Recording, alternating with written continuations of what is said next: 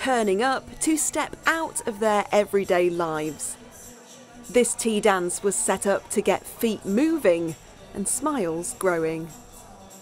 It's great social interaction and you can learn new steps every time you come to a dance you can learn something. Because I'm alone now so it's a company to be with people and you know and I've been dancing for a long time. I mean I started dancing in the 50s so eh? it's a long time.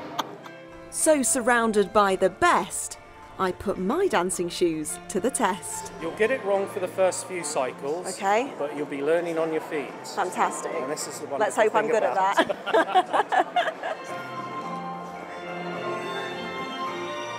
Walk to me. One, two, three. For those taking part, it's not just the moves they take away. One of the most important aspects of the tea dance is the social aspect just coming, having a cup of tea, having the cakes, eating the sandwiches, and watching the dancing and listening to the music. And there's still room for a few more at this table.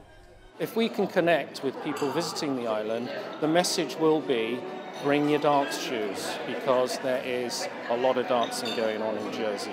We're going to make sure of that. So, what would these guys say to those thinking of taking part? You just got to go out there and have a go like everything else. Any a new job, anything like that. Don't have to worry. Even if you make a mistake, nobody's going to care really. Everybody's got to learn. Get your dancing shoes on and give it your best shot. As for me, I think I definitely did that. Becky Lancashire, ITV News.